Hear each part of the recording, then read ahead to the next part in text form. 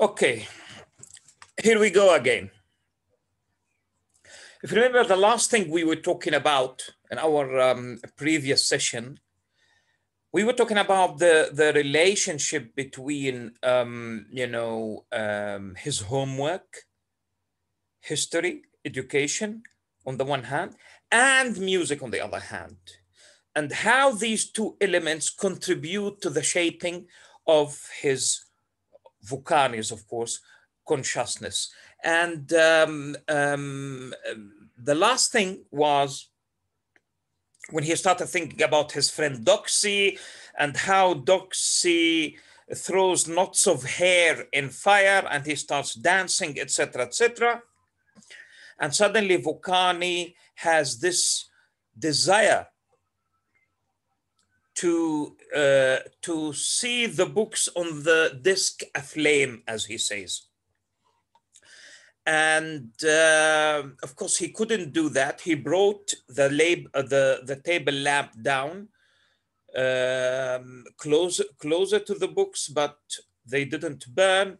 And suddenly, he sees the violin. So we have the homework, books, education, and suddenly the violin and then he saw his violin again and felt the sensation of fear deep in his breast. All right? So notice music is not supposed to uh, create fear. Not at all. But what do we have here? As soon as he sees the violin, he felt or he feels a, sen- a sensation of fear in his chest or his breast. So he doesn't like the violin because he's now expecting his parents with their visitors to come into his room and ask him to play the violin, but he doesn't want that. So the question is why doesn't he want that? Why doesn't he enjoy it? Notice he did not choose to play the violin. He did not choose the violin as an instrument. It was imposed on him by his parents, his mother in particular. And as we said last time, his mother represents authority. So here we have this story um, acting as a form of resistance, yes, to colonialism uh, and apartheid, but also to other forms of authoritarianism authoritarianism, including parental authority represented by, uh, by, by the mother here. Are we clear? And, and this is what creates um, fear. Fear in uh, deep, actually, fear in his in his breast, that kind of authoritarianism. All right. Um, and now we move to the next paragraph.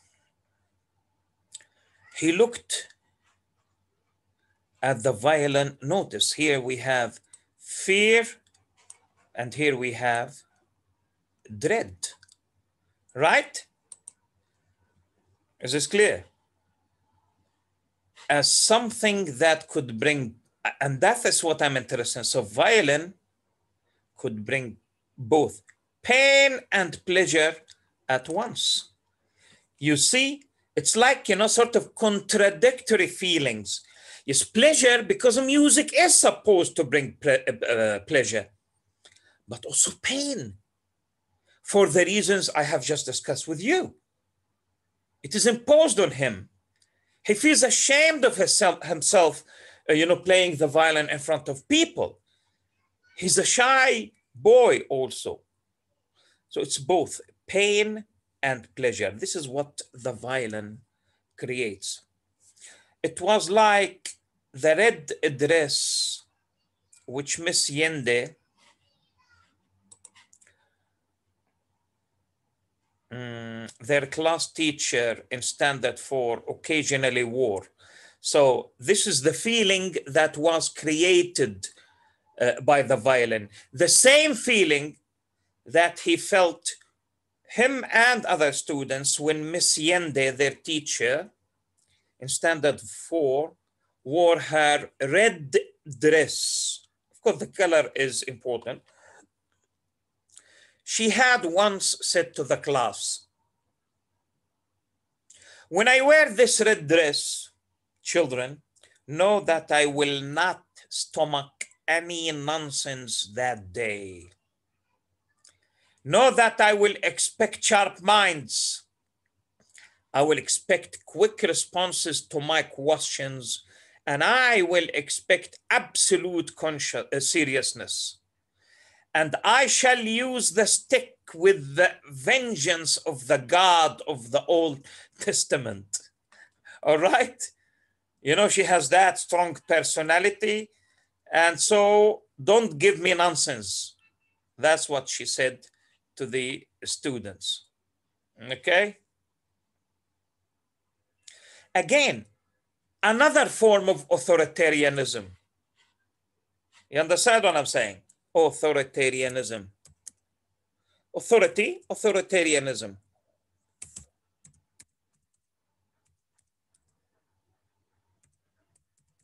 Okay, I need definitions, ya Sabaya Shabab. All right? Authoritarianism. Here we have um, sort of different forms of authoritarianism represented in this story.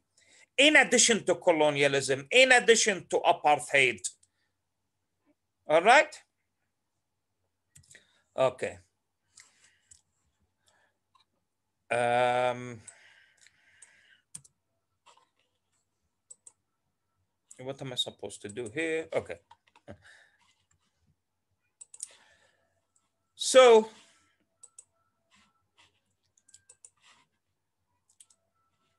that dress, which dress?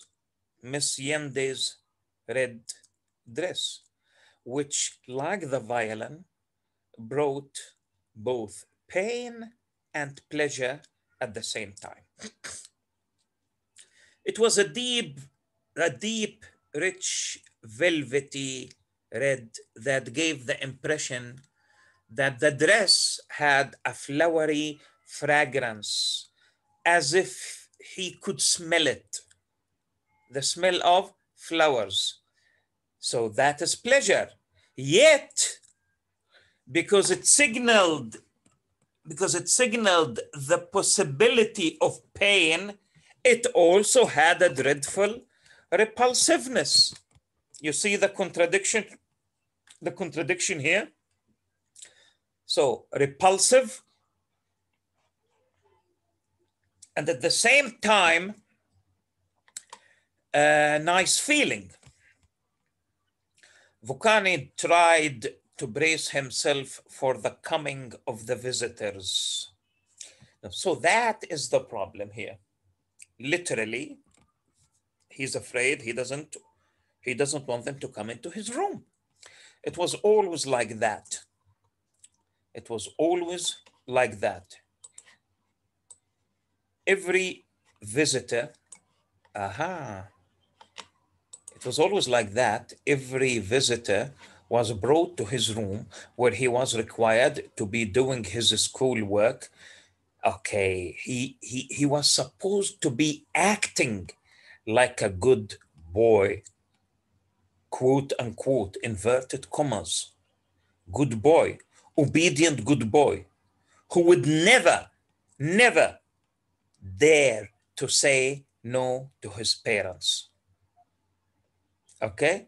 He was supposed to be obeying orders, obeying, following instructions. So every single time, notice it's Friday evening also. He's supposed to be going out with, the, with his friends, but no, he's doing his homework. And it is not that it's not the first time. No, every visitor was brought to his room where he was required to be doing his schoolwork or practicing on the violin. You notice? Notice here, what do we have? Schoolwork, education, okay? Uh, let me, how to underline this? Okay. Okay. Schoolwork or the violin. Notice the violin, no? and then we have schoolwork. All right? The source of his dilemma, or rather the sources, if they if they are two different things. Then he had no look at this, he had to entertain these visitors with violin music.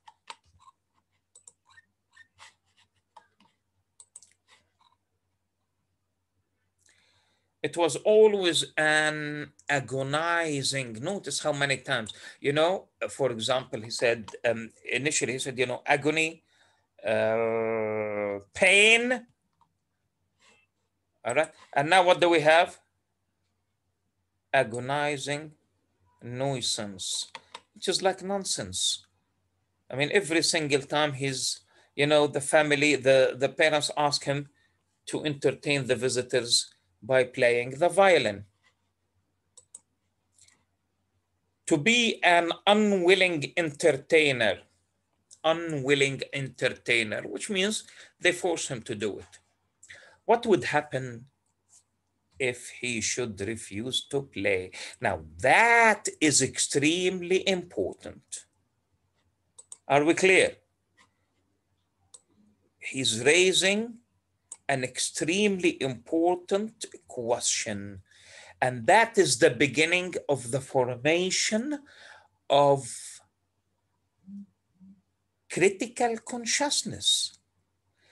Now, he doesn't say it, he doesn't say no, but he's questioning what he's doing. And that is the beginning of the formation of critical critical consciousness Okay, pay attention. That is extremely important because you can say that, yes, he has passive consciousness, passive consciousness. Okay.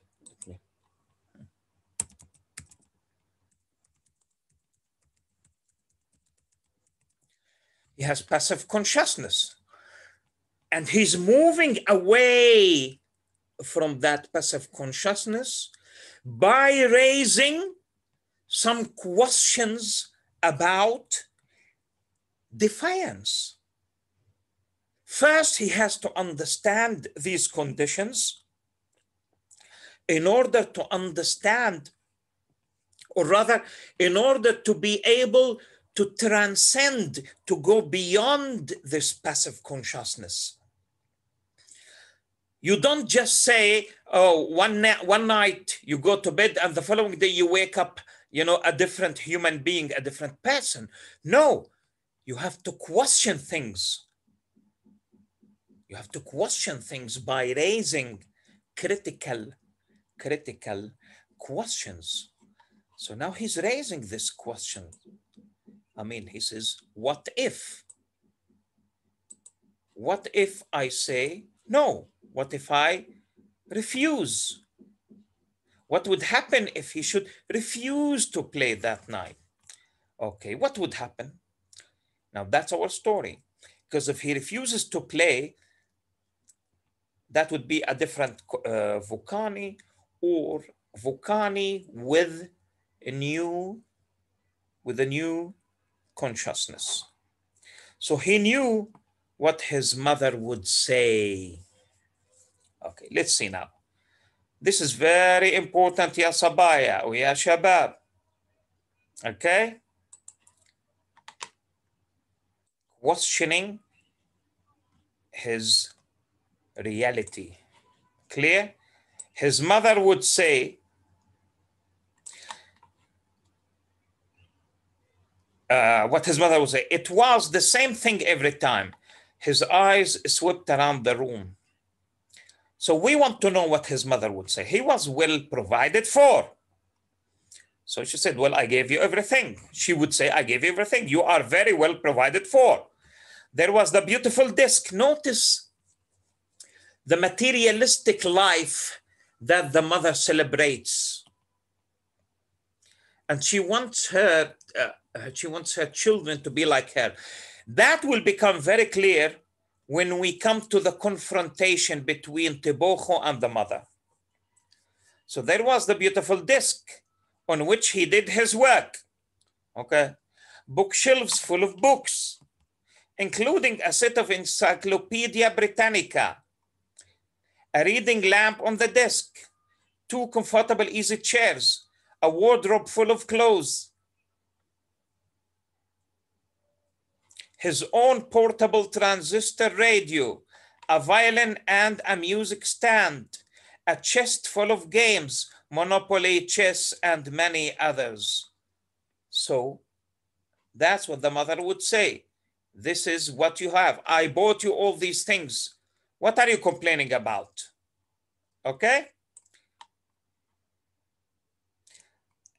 His mother never tried, never tired of telling him how lucky he was.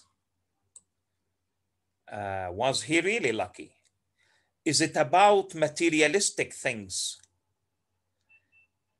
Is it only about having a disk and having shelves, etc., etc.? Is that the whole picture? Or that is only one part of the picture? But the fact that she's saying these things is a reflection of her class ideology. Class ideology. She belongs to the middle class. There is not, notice this here, there is not a single boy in the whole of Soweto. Soweto is the township, the township where they live, a black township, including here in Dube, who has a room like yours. You see, all the other black boys are very poor. They don't have the things that you have. So it's like us when we buy, you know, um, a new mobile phone. A culture of consumerism, you know what I'm saying? A culture of consumerism.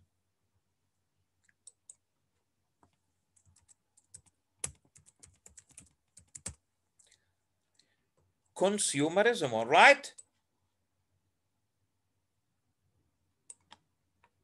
and materialism. Very, very materialistic.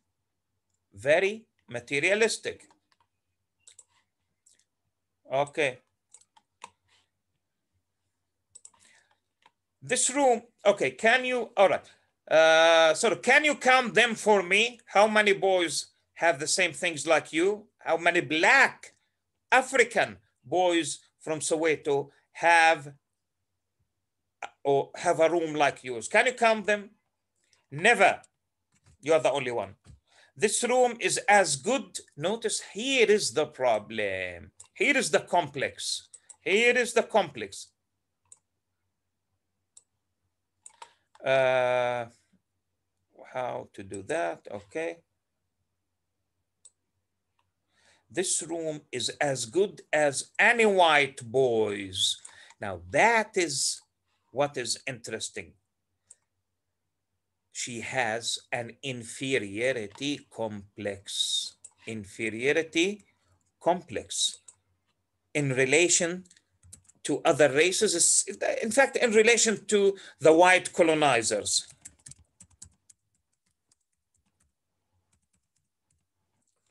inferiority complex. Okay? All right. This room is as good as any white's boy, any white boys. Isn't it exactly like Ronnie Simpson's? Of course, Ronnie Simpson's, that's a white boy. You yourself, you ungrateful boy. This is the mother talking to her son. Have seen that room you have seen that room when we visited the Simpsons in Parktown North. Parktown North is a white suburb, a white neighborhood in Johannesburg. Only white people live there. Of course, upper middle class. Okay, now this is extremely important. Ya shabab, ya sabaya. You kafir children. Kafir is a word similar to um, nigger, which is a terrible, racist, racist word. But they use it in South Africa, but it doesn't mean this, you know, as we have it in Arabic, kafir. No, it means, unfortunately, it's a racist word that means, you know, dirty, black, etc., etc. All right. It's like when Israelis want to insult us, they say, you Arab, the same meaning. Nigger, the same meaning. All right. Terrible, terrible word based on racist stereotypes. Based, excuse me, on racist stereotypes.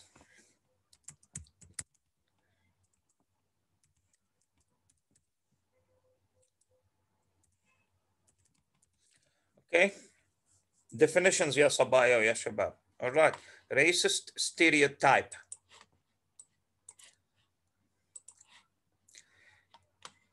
That's what, always ungrateful.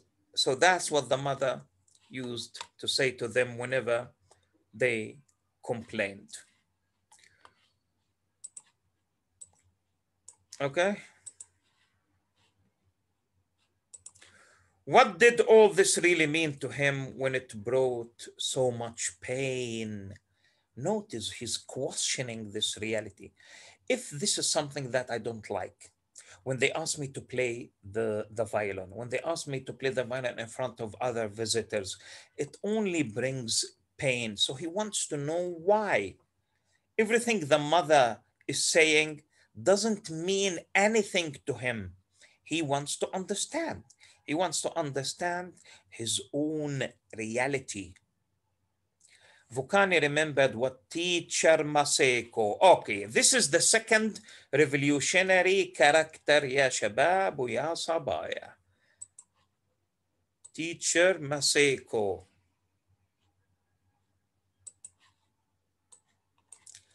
This is very, very important character. Okay. Uh, how do I do this? Okay. All right. Vukani remembered what teacher Maseko had said at assembly one morning. I want you to remember all of this. This is a fascinating sentence that I myself use sometimes when I write articles. And as a Palestinian suffering from Israel's apartheid, Israel's colonization, Israel's settler colonialism, I always remember this. Look what teacher Maseko, this great character, had to say. He's a teacher. Don't forget this. You will become teachers. What are you going to teach your students? Only English? This is a boy, this is a girl, that's a window. Yes, everybody can learn the language, but you need to help develop their consciousness, create that critical consciousness. Let's listen to what teacher Maseko has to say. Children, I would rather be a hungry dog that runs freely in the streets than a fat chained dog burdened with itself and the weight of the chain. Oh my God. Oh my God. I really hope that you are concentrating while you are listening to this one. This is fascinating. Fascinating. Children, I would rather be a hungry dog that runs freely in the streets than a fat chained dog burdened with itself and the weight of the chain We say, I don't know who said it, I think it was Ghassan Kanafani. I'm not sure. Thuru فلن تخسروا سوى القيد والخيمة I don't know which one of you يا صبايا said last time it's like إن عشت فعش حرا right the same thing children you see how many times i'm repeating it because i love it i love it. This is what education is supposed to be about. And this is why i'm telling all the time i'm telling you i want you to be conscious. I really want you to learn something something from this. Children ya sabaya ya shabab i would rather be a hungry dog that runs freely in the streets than a fat, chained dog burdened with itself and the weight of the chain. Whenever the white man tells you he has made you much better off than Africans elsewhere in this continent, in Africa, tell him he is lying before God. Wow. Wow. Wow. Compare this to his homework, to Vukani's homework.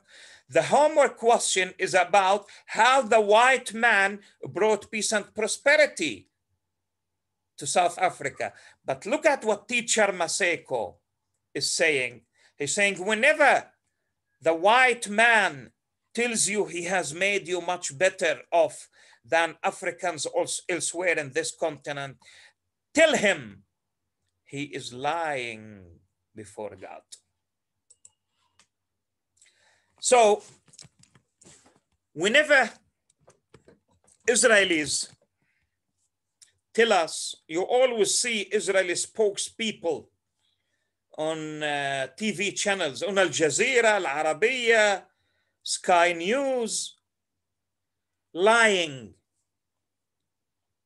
saying that Palestine was a desert before they came to it. And they say that they made the desert boom. They also say that this was a land without a people for a people without a land, that they brought civilization to this part of the world. And exactly like what Mr. Teacher Maseko had said at assembly one morning, till those Israelis that they are lying, that they are lying, that this is a myth, a big, big, big lie. Okay? I hope you are paying attention.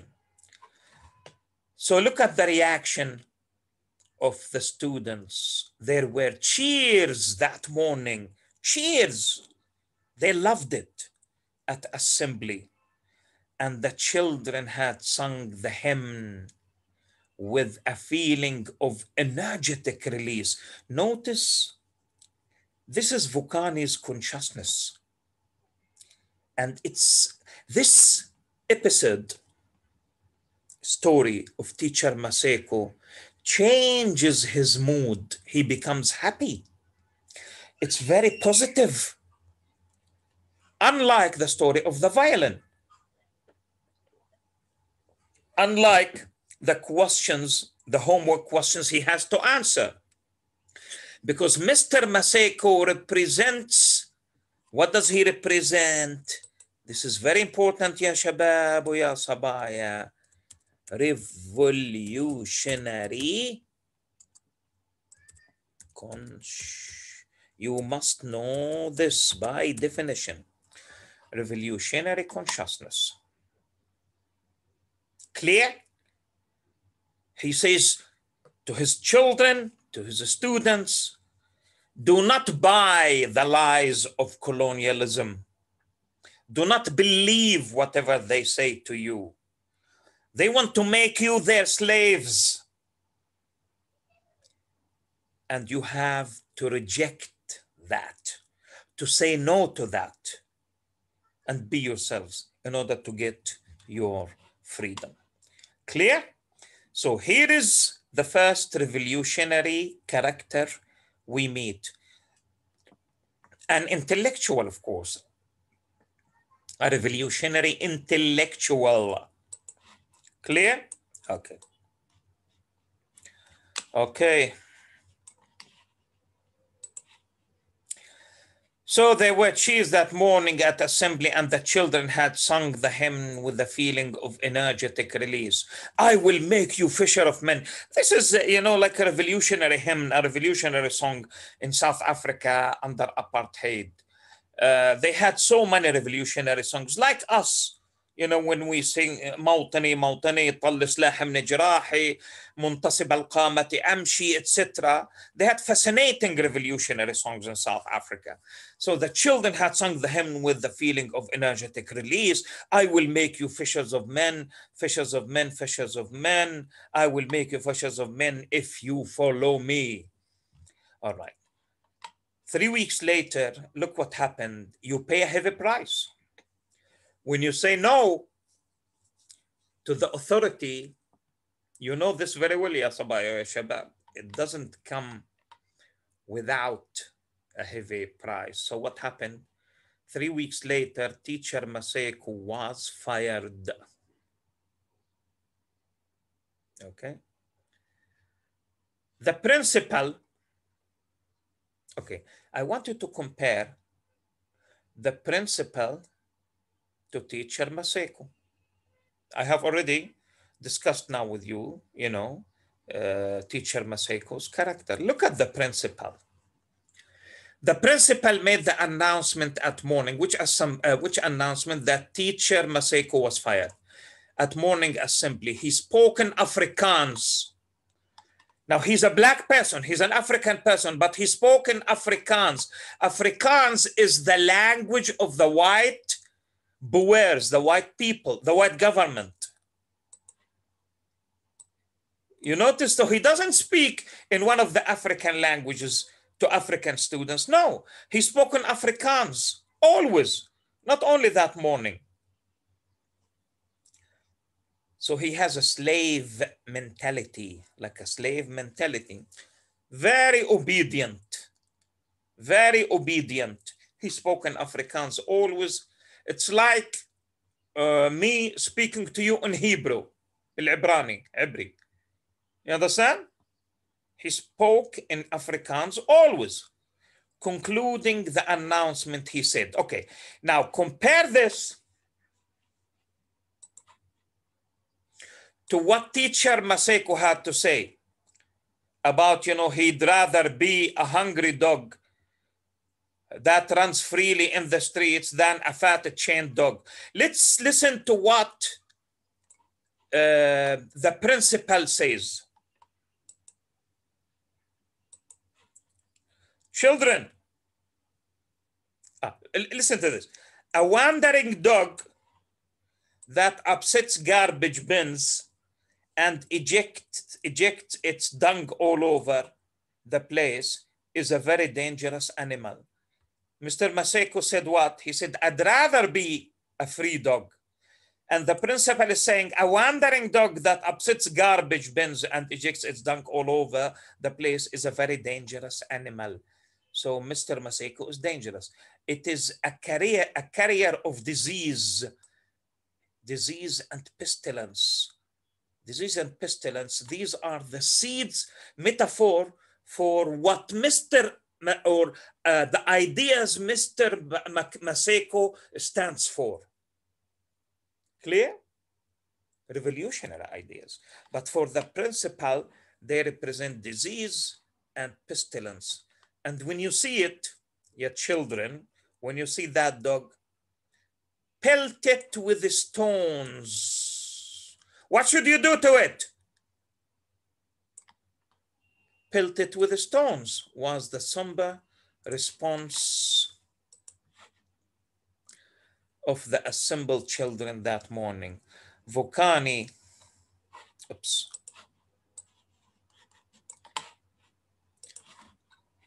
Okay. Vukani heard another roar. Oh, sorry. Uh, Vukani wondered whether teacher Maseko was that dog. Of course, a free man. a free man, but why give why give that metaphor a dog? Because um, they are under a brutal, or rather, the brutal system of apartheid. But how could anybody pelt teacher Maseko with the stones? Aha, because teacher Maseko was revolutionary and nobody could do that to him. He was such a nice man. Vukani heard another roar of laughter from the living room. Okay, this is Yasabaya, a stream of consciousness. He remembers, he goes to the to the past, remembers Mr. Maseko. Everything is happening within his consciousness. We call this this style a stream of consciousness. Definition Yasabaya, okay? Let me write it for you so that you remember.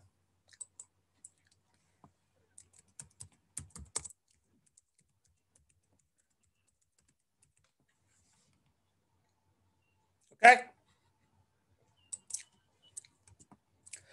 Stream of consciousness.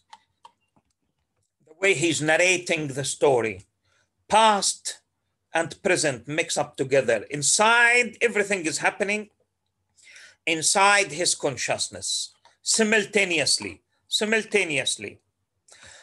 And this is, it comes in the form of a flow of narration, flow of narration in Vukani's consciousness.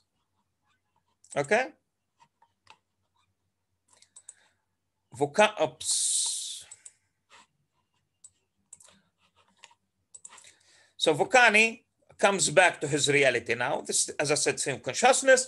Vukani heard another roar of laughter from the living room. But why did his mother have to show off? So he's conscious. He's conscious of his reality, but he cannot refuse it. That is the point. Why did his, notice he's questioning. He's questioning his reality. He knows that his mother shows off. Why did his mother have to show off at his expense in this manner? Why? That shows that there is, I would say, hope since he is questioning his reality. Notice, ya shabab, ya sabaya, many of us just accept our reality as it is, the status quo. We just accept it as something given. We just accept it as something given, but we don't question it. And this is why many of us have that kind of passive consciousness. If I come and say, no, we need to do something, it's ah, what can we do? What can we do? It's hopeless. All right? It's, ah, it's hopeless. We cannot get rid of, get rid of occupation. Uh, you know, we cannot, uh, it's impossible for Palestinian refugees to return. Israel is very strong, powerful, etc. etc. Yeah. Now, that is the mentality of the principal not the mentality of uh, teacher Maseko. But notice Vukani is affected, affected by uh, Mr. Maseko's revolutionary consciousness. And this is why he starts questioning his reality, even about what his mother does to him. This doesn't mean he doesn't like his mother. No, we are not talking about him liking or not liking his. No, no, no, no, no. We are talking about him reject first questioning uh, the surrounding reality, which is very oppressive, oppressive reality. First, you you question, then you reject. And this is why he raises these questions, including this question why did his mother have to show off at his expense in this manner? That Friday, as on all Mondays, Wednesdays, and Fridays, he had carried his violin to school. Okay. Because he has violin lessons three days a week Monday, Wednesday, Friday. The other children at school who are, of course, African, just never got used to it. The violin. I mean, which African boy living in Soweto would be practicing the violin. So students, um, the other children were making fun of it. It was a constant source of wonder and ridicule. They were making fun of it. Here is a fellow, about him, Vukani, they would say. Here is a fellow with a strange guitar because they don't know what it is. They don't know what a violin is. Some would say. Others would ask him because it's it's not part of their African culture. And that is because his mother has an inferiority complex. Inferiority complex, don't forget. Others would ask him to play the current township hits. All right?